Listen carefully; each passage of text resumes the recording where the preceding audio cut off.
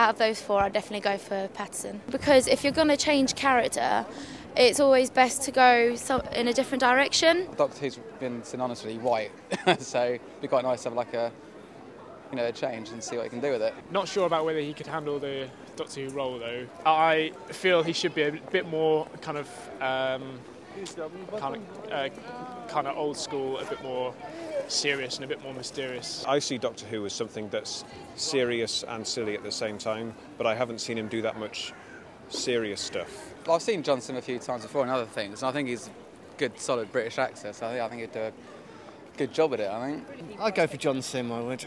I think he's a very, very good actor. He's um, good screen presence. John Sims, I think, would be good because um, he's very good and sort of laid back and very dry scent delivery in Life on Mars.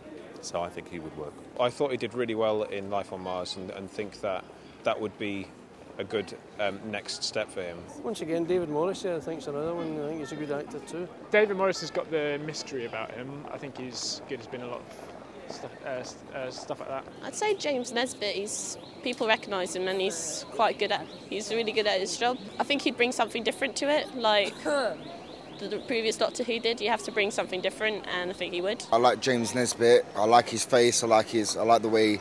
I like his accent. I like the way he is. He's an actor, and out of all them, I recognise him the most. So that's why I probably would say I would like him to be in Doctor Who. Doctor Who with an Irish accent? I don't know. Perhaps I'm being far too snobbish. I think he'd bring uh, a real likability, uh, and I think he's good at kind of wit and sarcasm, and yeah, I think he'd uh, kind of fit in very well with that.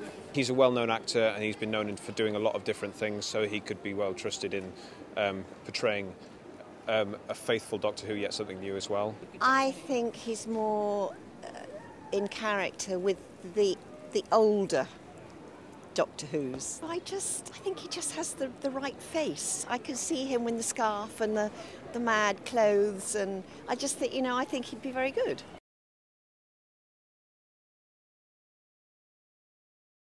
Mainly for comedy value, probably Neil Morrissey. I just think he's a brilliant actor. He's funny. He command. I've noticed that commands a stage. He commands anything he does. Mr. Bean, because I just love him in general. I find his face funny, so I think he'll brighten up the whole show. If Danny Dyer might be making might make it quite funny, to be honest. I think it's hysterical. I think it'd be quite a different, completely different angle as well. What's that? Trans Eddie, the transvestite guy. What's his name? Izzard. Yeah. Why? Because he'd be funny. The whole point is to make it funny. Daniel Craig, yes. I've seen him in a couple of things, and I think he'd be ideal for it. He can come across with humour, and he is a good actor again for serious parts.